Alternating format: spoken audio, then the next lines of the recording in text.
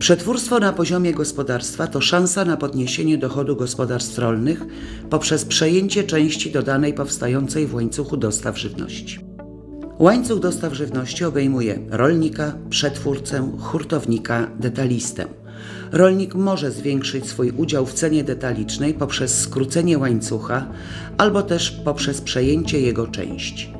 Kiedy rolnik przetworzy sam surowiec w gospodarstwie i sprzeda go w postaci gotowego produktu, np. soku, wartość dodana w jego gospodarstwie wzrośnie. W Centrum Doradztwa Rolniczego w Radomiu znajdują się cztery moduły związane z przetwórstwem na poziomie gospodarstwa: przetwórstwo zbóż, przetwórstwo owoców i warzyw, przetwórstwo mięsa i przetwórstwo mleka.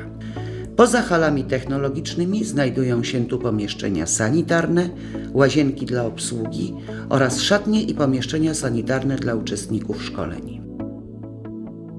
W oddziale Radomskim Centrum Doradztwa Rolniczego utworzono Centrum Praktycznego Szkolenia w zakresie małego przetwórstwa na poziomie gospodarstwa. Celem utworzonego centrum jest pokazanie praktycznych możliwości uruchomienia tego typu działalności w gospodarstwie. Rolnicy uruchamiając tego e, typu e, działalność mają możliwość e, wyprodukowania tradyc według tradycyjnych metod produktów, przetworzyć własne surowce i dzięki temu również podwyższyć swoje przychody, jak również stworzyć miejsca pracy dla siebie, dla E, swojej mm, rodziny. W procesie przetwórstwa żywności koszty surowca to około 30%.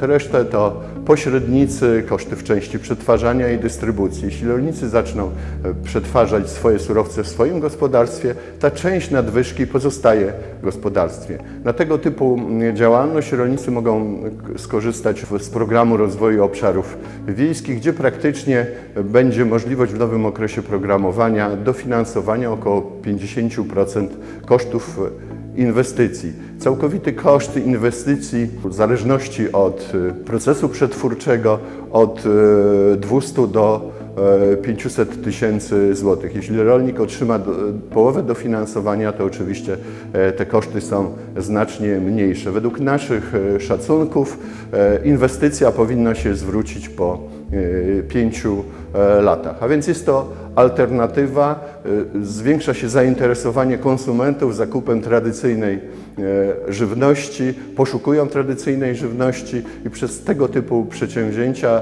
rolnicy mogą rozwijać e, alternatywne działalności w swoich gospodarstwach, jak, jak również tworzyć miejsca pracy. Każdy zakład, który podejmuje się działalności produkcji żywności, y, musi spełnić określone wymagania w zakresie wymagań higieny i jakości oraz bezpieczeństwa produkcji żywności. Niezależnie od tego, czy jest to mała skala produkcji, czy duża skala produkcji, wymagania zostały określone przez przepisy prawa krajowego i przepisy wspólnoty europejskiej podmiot, który podejmuje się takiej działalności, musi sporządzić projekt technologiczny zakładu, a następnie przedłożyć go do zatwierdzenia odpowiednim służbom nadzoru. W przypadku produktów pochodzenia roślinnego jest to Państwowa Inspekcja Sanitarna, w przypadku produktów pochodzenia zwierzęcego jest to Państwowa Inspekcja Weterynaryjna. Po przeprowadzeniu inwestycji w zakładzie następuje zatwierdzenie zakładu albo w przypadku produktów pochodzenia zwierzęcego rejestracja działalności w Powiatowym Inspektoracie Weterynarii. Wymagania prawa żywnościowego zobowiązują producentów żywności przede wszystkim do zachowania tzw. Tak identyfikowalności produktu żywnościowego i możliwości odtworzenia drogi produktu żywnościowego w obrocie rynkowym. Jest to tak zwany system traceability, który zobowiązuje każdego przedsiębiorcę do prowadzenia odpowiedniej do skali przedsięwzięcia dokumentacji zapewniającej odtworzenie i dokumentowanie drogi produktu od nabycia i wyprodukowania go w zakładzie do momentu dostarczenia go do konsumenta. Producenci żywności odpowiadają za jakość, bezpieczeństwo i warunki higieny, w jakich prowadzona jest produkcja.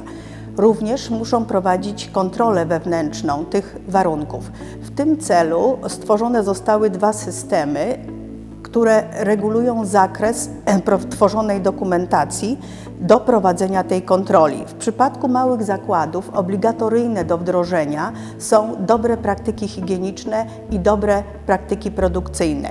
System analizy zagrożeń i krytycznych punktów kontroli jest to system również stworzony do kontroli bezpieczeństwa i jakości produkcji. Niemniej jednak na chwilę obecną małe zakłady nie są zobligowane do wdrażania tego systemu.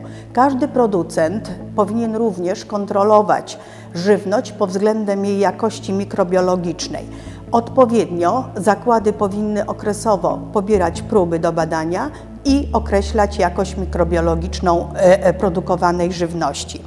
Znakując żywność, producent umieszcza na etykiecie termin przydatności do spożycia albo termin minimalnej trwałości. Te, e, e, oznakowanie takie powinno być poparte również badaniami przechowalniczymi, które na wniosek konsumenta również należy udostępnić.